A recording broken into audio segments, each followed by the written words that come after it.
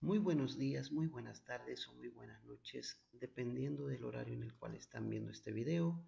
Soy el profe Tony y hoy quiero explicarles cómo elaborar una evaluación en la plataforma educativa del Ministerio de Educación. Muy bien, lo primero que hacemos es ubicarnos en un curso en el que vamos a elaborar la evaluación, activar edición, no nos olvidemos de eso. Tenemos que siempre activar la edición. Luego buscamos el espacio donde vamos a elaborar esta evaluación o donde queremos que se encuentre. Yo quiero, yo lo voy a poner acá donde dice módulo 1. Damos clic donde dice añadir una actividad o recurso y buscamos la opción cuestionario.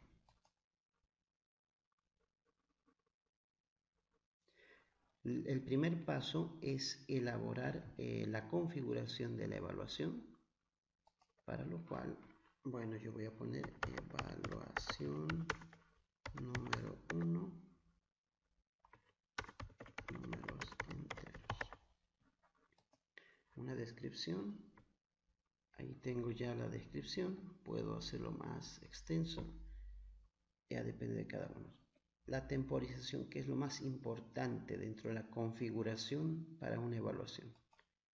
Temporización, ¿en qué momento quiero que se habilite esto? Que se muestre para los estudiantes. El 22 de marzo 2021, ¿a qué hora? Vamos a poner a las... A ver... 15 horas vamos a poner.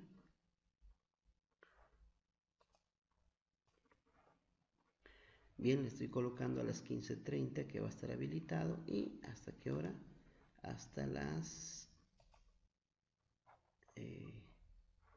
16.30. Eh, Entonces el estudiante en este, en este intervalo de tiempo puede ingresar para realizar su evaluación. Pero no quiere decir que una hora va a durar la evaluación, eso ya depende de cada maestro y en esta parte donde dice límite de tiempo vamos a determinar cuánto tiempo va a durar la evaluación. En mi caso le voy a colocar 30 minutos, ¿no? Entonces, en, este intervalo va a ingresar, suponiendo que ingresa a las 15 y 45, su examen estaría terminando a las 16 y 15, ¿no? Ok, esto es muy importante entonces de la temporización, es la parte más importante. Luego lo dejamos ahí, vamos acá a calificación y aquí dice categorías de calificación. Eh, yo ya tengo categorías, en este caso lo voy a colocar en el primer trimestre en la dimensión del saber. Ahí está. Y luego dice calificación para aprobar. No, eso lo dejamos ahí, no hacemos nada. Intentos permitidos sin límite, eso hay que tener mucho cuidado porque aquí puede el estudiante hacer una y otra vez la evaluación. Solo tenemos que colocarle uno. Intentos permitidos, solo uno. Y luego veamos aquí esquema que dice cada pregunta. Quiere decir que va a aparecer en la, en la ventana solamente una pregunta para que pueda resolver y luego tiene que pasar a otra pregunta que que creo que es lo mejor dejarlo así. También lo dejamos ahí. Eh, ordenar al azar las respuestas, sí, que se ordene al azar las respuestas, comportamiento de las preguntas, no, no hacemos nada. Vamos a la opción de revisión, que también es otro aspecto muy importante. Eh, ¿Qué es lo que pasa acá? Sucede que los estudiantes, si dejamos todo así tal y cual, cuando terminen su evaluación van a poder ver las respuestas correctas, las respuestas incorrectas y su puntaje. Y suponiendo que terminan antes que se cierre el examen, puede que eso lo eh, internamente se comuniquen con otro de sus compañeros para que les ayuden sin y el otro compañero sin estudiar pueda ticar las respuestas correctas. Por lo tanto, lo que aconsejo yo es quitar acá donde dice eh, si fue correcta la respuesta, y respuesta correcta. En todos los casos quitar eso. para que así el estudiante solamente cuando termine su examen va a poder ver los puntos, cuántos puntajes obtuvo. y, nada más, lo demás ya no va a poder ver cuáles son las correctas e incorrectas.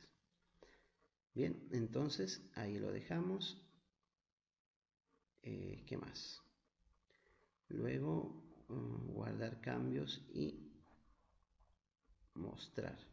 Esos son los aspectos más importantes. Hay muchos más, pero en realidad ya no son tan, tan fundamentales. Guardar cambio y mostrar. Ya hemos hecho la configuración, pero no hemos puesto ninguna pregunta. Donde dice editar cuestionario, ahí vamos a hacer las preguntas eh, para esta evaluación. Entonces, ¿qué es lo que hacemos acá? Primero, eh, editamos la calificación máxima sobre cuánto. Algunos califican sobre 100, otros sobre 35. Yo califico sobre 35. Entonces, eh, le doy guardar. Ya, ahora voy a colocar las preguntas, donde dice acá agregar pregunta, una nueva pregunta. ¿Qué tipo de pregunta? Vamos a ver eh, estos tres casos, la primera, la segunda y la tercera opción. Hay muchos tipos de preguntas que podemos colocar, pero para eso hay que estudiar bien cada una de estas. Lo más básico es la primera, opción múltiple, también falso y verdadero, y esta vamos a colocar solamente para variar, ¿no? Entonces, de estas tres vamos a ir colocando eh, nuestras preguntas. Bien, voy a empezar con la primera, que va a ser opción múltiple. Estoy viendo mi pregunta para ver qué tipo de opción múltiple. Bien, entonces cuando ya tenemos eh, abierta esta ventana, lo primero que tenemos que hacer es colocar la pregunta. Yo voy a colocar pregunta 1. Aquí en el enunciado voy a copiar lo que quiero que hagan los estudiantes o lo que quiero que respondan. Ahí está.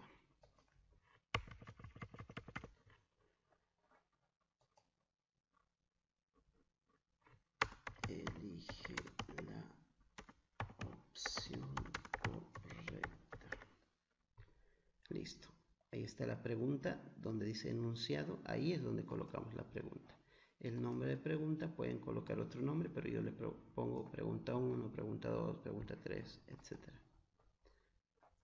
¿Cuánto de puntaje queremos que tenga? Entonces yo le voy a poner 3 puntos. ¿Y qué más? A ver, retroalimentación no, no es necesario. Es cuando queremos que le aparezca al estudiante algún algún escrito cuando lo hacen bien o lo hacen mal. Ahora, ¿qué más tenemos que aquí colocar? Nada más. Vamos directo a las opciones de respuestas. Y bien, ah, vamos a ir colocando aquí una respuesta.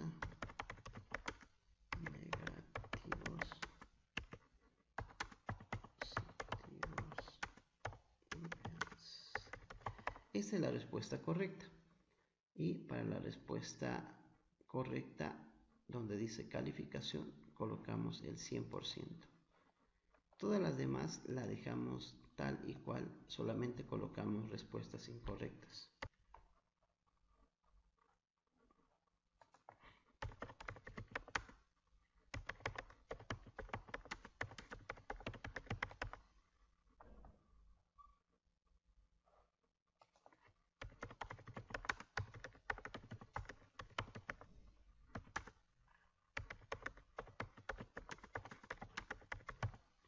Bien, ya tenemos cuatro, por lo menos cuatro opciones. Pueden colocar también tres, dependiendo de ustedes, eh, de su elección más correcta. Y bueno, donde dice guardar cambios, hacemos clic y ya está. Ya está nuestra primera pregunta con cuatro opciones, donde una es la correcta y le hemos puesto eh, puntaje de 100%.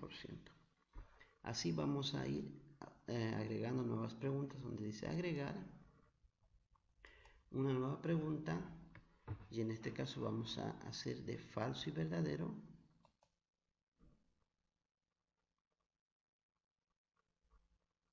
Y bien nombre de pregunta colocamos pregunta 2 falso y verdadero y voy a colocar esto. Ahí está.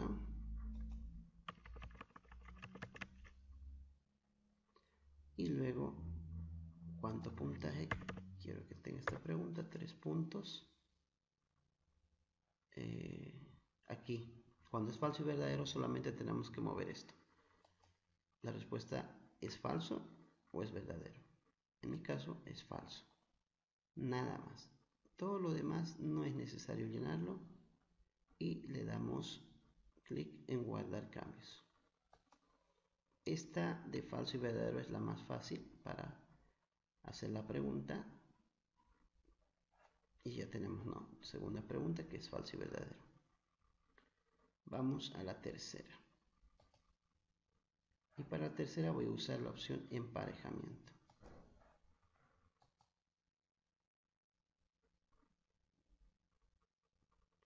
ok nombre de pregunta le ponemos pregunta 3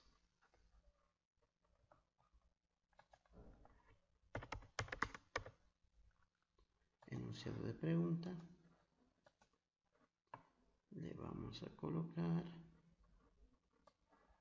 este de acá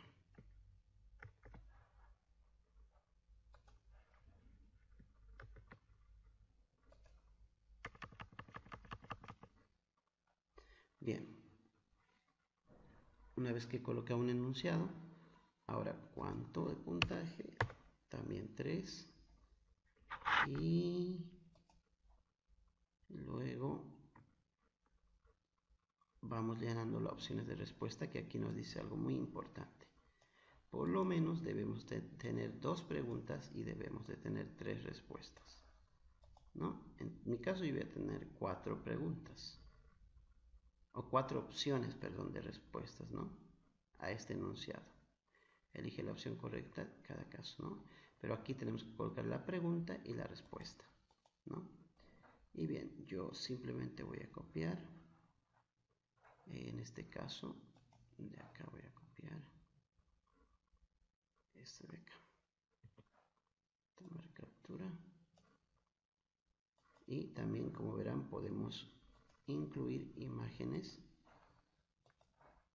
yo aquí voy a control B de pegar y la imagen se pega la respuesta vamos a ponerlo manualmente su respuesta correcta, obviamente tenemos que colocar ahí. Y luego vamos haciendo lo mismo para cada caso.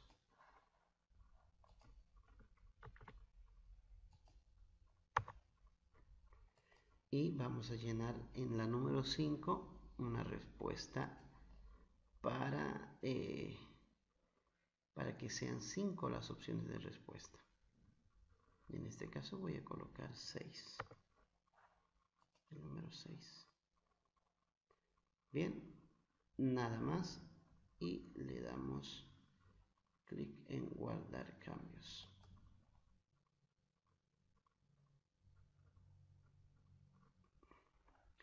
de esa manera voy a ir llenando todas mis demás preguntas para este examen en este caso voy a usar esos tres formatos ¿no? Eh, opciones múltiples falso y verdadero y de emparejamiento. Una vez que tenemos ya toda nuestra evaluación terminada con todas las preguntas que hemos realizado, que obviamente los puntajes de cada pregunta tiene que cuadrar con la calificación máxima.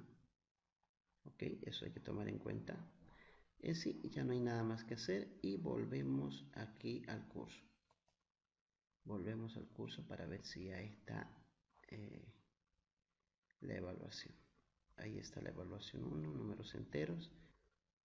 Ahora voy a entrar a la evaluación para hacer una previsualización cómo los estudiantes van a ir viendo esta evaluación. Comenzar intento. También esto es bueno para revisar si todo lo que hicimos está bien. Entonces van a ver de esta manera. Ahí está la pregunta 1, está el enunciado y las posibles respuestas. Voy a ir tickeando. Siguiente paso.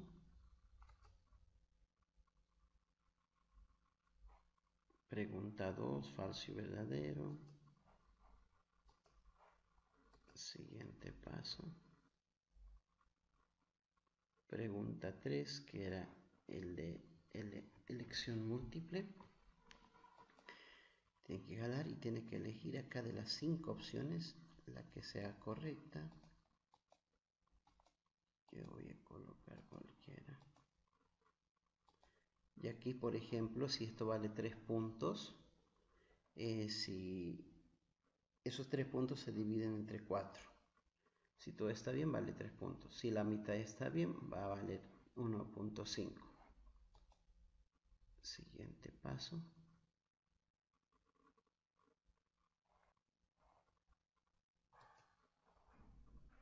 Y terminar. Cuando ya estamos en la última, nos aparece la opción terminar.